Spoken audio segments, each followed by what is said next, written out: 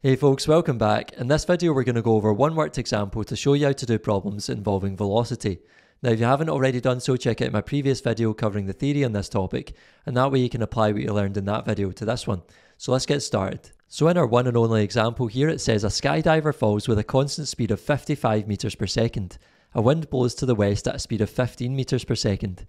By scale diagram or otherwise, find the resultant velocity of the skydiver. So remember in these kind of questions to find the resultant vector of an object, we can think about the scale diagram method or the calculation method, just like we did in the worked example video for distance and displacement. So the phrase by scale diagram or otherwise, remember this means we can use either the scale diagram or the calculation method here.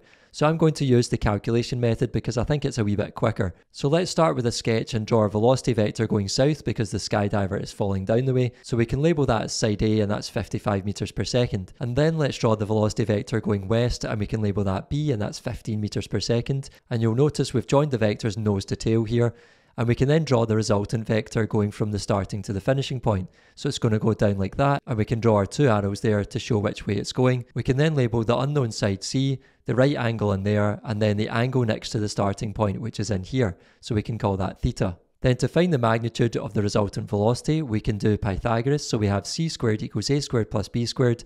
And putting in the numbers, we have 55 squared plus 15 squared, which equals 3,250. We can then find c by doing the square root of that value, which equals 57 meters per second. To find the direction, remember we start by finding the angle using tan theta equals opposite over adjacent.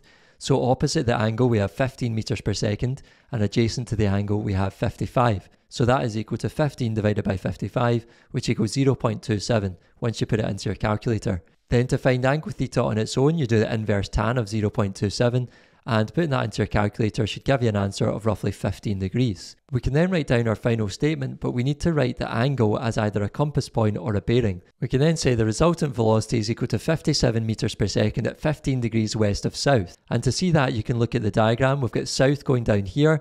We've then got our angle of 15 degrees in here, and that means the resultant vector is 15 degrees away from south towards west. So we've got 15 degrees west of south. Or as a bearing, we can say 57 meters per second at a bearing of 195.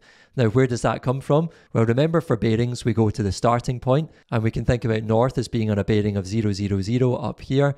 And we then want to come from there all the way round to the resultant vector. So going round from here to here, we get 180 plus the angle of 15 degrees. So we end up with 195 as our bearing.